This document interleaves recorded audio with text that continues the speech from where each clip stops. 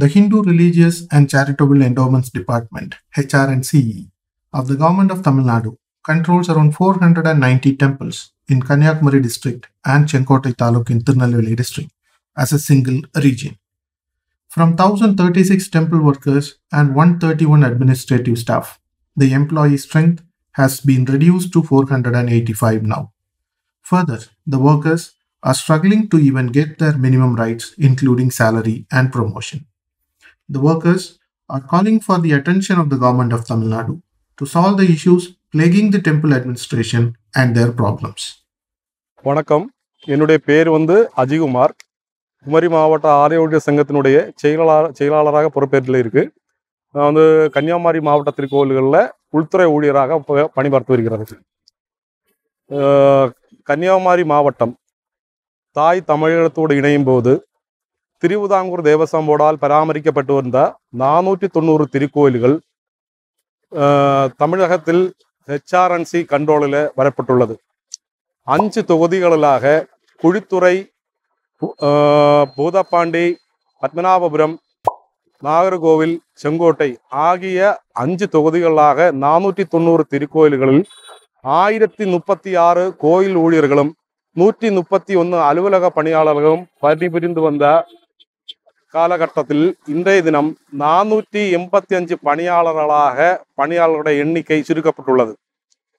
த- காலம் சென்ற முதல்வர் அம்மா அவர்கள் ரெண்டாயிரத்தி பதினாறு நூற்றி பத்து விரிவின்படி கன்னியாகுமரி மாவட்ட திருக்கோயில்களில் பணியாளர்கள் எண்ணிக்கை உள்துறை ஊழியர்களுடைய எண்ணிக்கை எண்ணூற்றி நாலாகவும் அலுவலக பணியாளர்களுடைய எண்ணிக்கை அறுபத்தஞ்சாக அன்னைக்கே உத்தரவு போடப்பட்டுள்ளது. அந்த உத்தரவின் அடிப்படையில் இன்றைய தினம் வரையும் எந்த ஒரு பணியாளர்களையும் நிர்வாகம் இதுவரைக்கும் பணியில் அமர்த்தப்படாமல் ஏகப்பட்ட திருக்கோயில்கள் வந்து தனியார் கைகளில் சேர்ந்து சேரக்கூடிய நிலைமையில் ஏற்பட்டு வருகிறது. கோயில்களில் பணிபுரியக்கூடிய பணியாளர்கள் நீண்ட காலங்களாக தங்களுடைய ஊதியத்துக்காக போராடி வருகின்றது. தமிழக அரசால் நால்வர் குழு தீர்மானப்படி ஆயிரத்தி தொள்ளாயிரத்தி தொண்ணூற்றி எட்டு குழுவின் அடிப்படையில் திருக்கோயில்களுடைய அந்தஸ்தை பொறுத்தவரையில் திருக்கோயில்களில் பணிபுரியக்கூடிய பணியாளர்களுடைய ஊதியம் நிர்ணயம் செய்யப்பட்டுள்ளது. அதன் அடிப்படையில் கன்னியாகுமரி மாவட்ட திருக்கோவில் முதுந்தலை திருக்கோவில் பட்டியல்பட்டதும் ஆயிரத்தி தொள்ளாயிரத்தி தொண்ணூற்றி எட்டு அரசாணைப்படி ஒரு தரப்பு பணியாளருக்கு மட்டும் அரசாணைப்படியான ஊதியம் வழங்கப்பட்டு கோவிலில் பணி பார்க்கக்கூடிய எண்ணூறுக்கும் மேலான பணியாளர்களுக்கு அந்த ஊதியம் அரசாணைப்படியான ஊதியம் மறுக்கப்பட்டுள்ளது. இந்த பாகுபாடு நீண்ட காலமாக தற்போதும் நிலுவையில் தொடர்வதால் கன்னியாகுமரி மாவட்ட ஆலயக்கூடிய சங்கம் இந்த பணியாளர்களுடைய ஊதிய உயர்வுக்காக இன்னமும் போராடி வருகின்றது.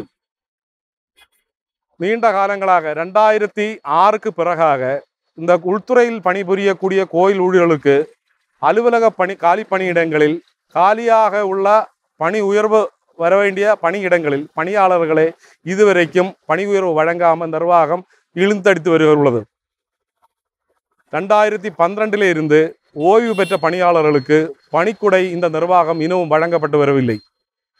சொற்ப ஊதியத்தில் பணிபுரியக்கூடிய கோயில் ஊழியர்கள் பணிக்குடை குடைக்காமல் அவருடைய வாழ்வாதாரம் முற்றிலும் சமமான நிலைமையில் ஏற்பட்டு வருகிறது. ரெண்டாயிரத்தி பத்தொன்பது காலகட்டங்களில் மாண்புமிகு சென்னை உயர்நீதிமன்றம் தமிழகத்தில் பணிபுரியக்கூடிய கோவில்களில் இசை பணியாளர்களுக்கு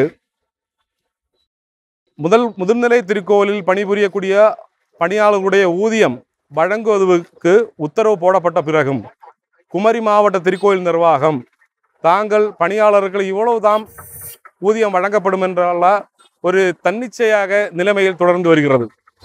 While the organizations claiming to be the true custodians of temples and Hindus are silent on the issues of the workers, the Center of Indian Trade Unions is leading the temple workers since 2000.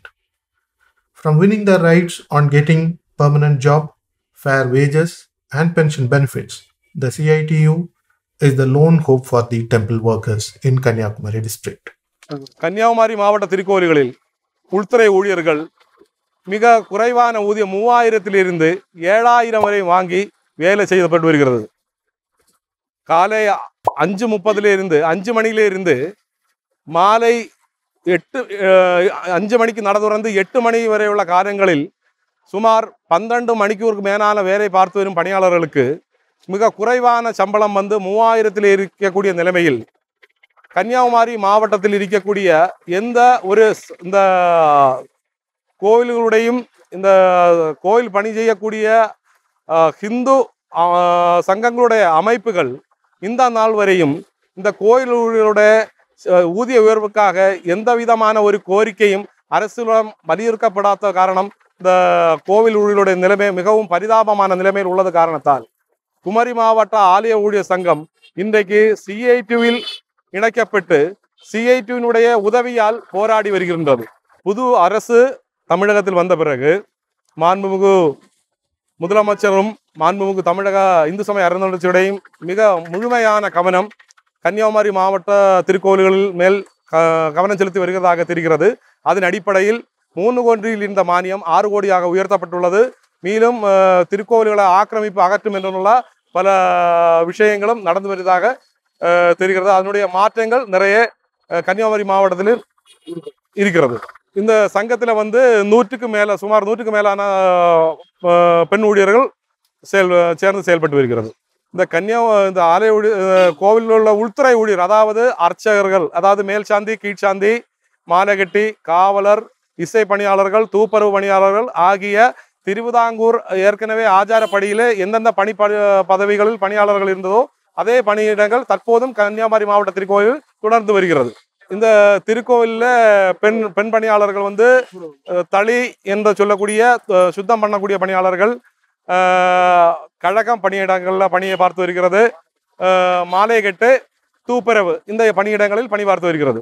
எங்களுக்கு மிக குறிப்பாக திருக்கோவிலில் போதிய பணியாளர்கள் நியமனம் செய்யாதனால் எங்களுக்கு பணி சுமை அதிகமாக இருக்கின்றது.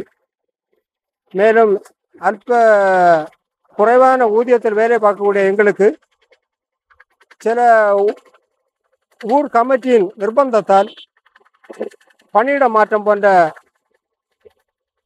நடவடிக்கைகள் தொடர்வதால் எங்களுக்கு பணி பாதுகாப்பு என்பது முழுமையாக எங்களுக்கு கிடைக்கவில்லை.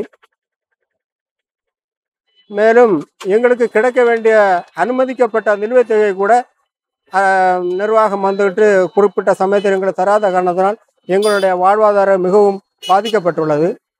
சமீப காலத்தில் கூட நமது நிர்வாகத்தில் உட்பட்ட திருநந்திக்கரை மகாதேவர் கோவிலில் ஒரு ஊழியருக்கு ஒரு பெண் ஊழியருக்கு ஏற்பட்ட சங்கடம். அனைத்து செய்திகளிலும் மற்றும் ஏற்பட்டு மிகவும் பரபரப்பாக பேசப்பட்டது.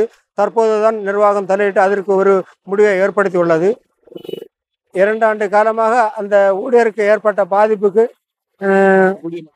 ஊதியம் வழங்காமலும் ப- பணி பாதுகாப்பு கொடுக்காமலும் அவங்களை மிகவும் சிரமப்படுத்தப்பட்டது. இது போன்ற காரணங்களால் எங்களுடைய செயல்பாடுகள் வந்துட்டு பாதுகாப்பு தருகிறது தற்போது சிஐடி ஆலய ஊழியர் சங்கம் மட்டும்தான். அதனால நாங்கள் எல்லாரும் ஆலய ஊழியர் சங்கத்திலே தொடர்ந்து செயல்பட்டு வருகிறோம். சுசாமி நாதஸ்வர கலைஞர். நாங்கள் வந்து சுசீந்திரம் தானுமான சமூகத்தில் நாதஸ்வர பணியாளராக இருந்துட்டு இருக்கேன் எங்களுடைய வந்து அரசு வந்து எங்களுக்கு உயர்நீதிமன்றம் வந்து எங்களுக்கு வந்து இசை பணியாளருக்கு திருக்கோயில் முதுநிலை திருக்கோயில் பணியாளருக்கான ஊதிய உயர்வு வழங்க வேண்டும் என்ற உத்தரவு பிறச்ச பிறகு பிறப்பிச்ச பிறகு மாவட்ட நிர்வாகம் வந்து எங்களுக்கு அந்த சம்பளத்தை வழங்க வழங்குவதற்கு தயங்கிட்டு இருக்காங்க. இந்த உ- இந்த சம்பளத்தை த- கொடுக்க கொடுக்கலாம் அவங்க. இந்த உத்தரவு அரசு உத்தரவுமே வந்து அந்த மாவட்ட நிர்வாகம் வந்து மதிக்கலைன்னு தான் சொல்லணும். அரசு இது உயர்நீதிமன்ற உத்தரவுமே அவங்க மதிக்காம தான் அந்த இதை செயல்பட்டு வருது. இதில் எங்களுக்கு இசை பணியாளனுடைய கோரிக்கை வந்து இந்த இதான் இந்த சம்பள உயர்வு ஒன்று தான் கோரிக்கை.